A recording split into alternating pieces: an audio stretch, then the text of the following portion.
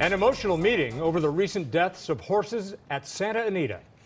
CBS 2's Greg Mills is live in Arcadia with details of the California Horse Racing Board meeting. Greg.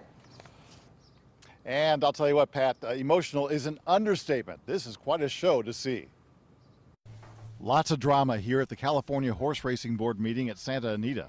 Because all I see here is a bunch of single women. Um, Okay, no, no. bunch of single women criticizing what we do here. He was escorted out. lies. All they care about is money. She was escorted out. In between, in the public forum, passion from both sides in light of 25 horses euthanized here since December.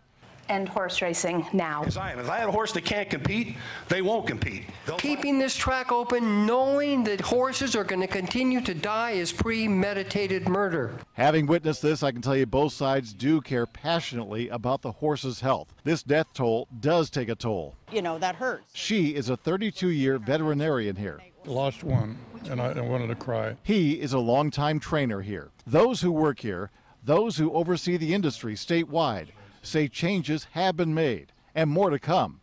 But critics say it's not enough. Even if there is reform and less horses are killed, horses are still being killed. With the death toll climbing, Santa Anita was shut down to investigate the cause.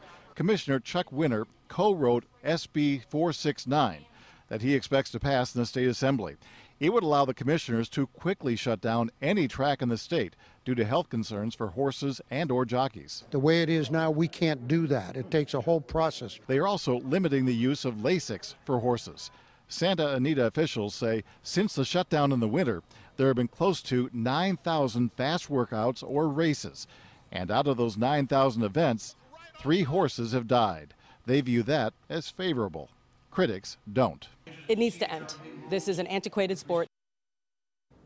That trainer you heard from, the Hall of Fame trainer, insists this is what's to blame for the horses dying here at Santa Anita the turf and all that rain we got this winter.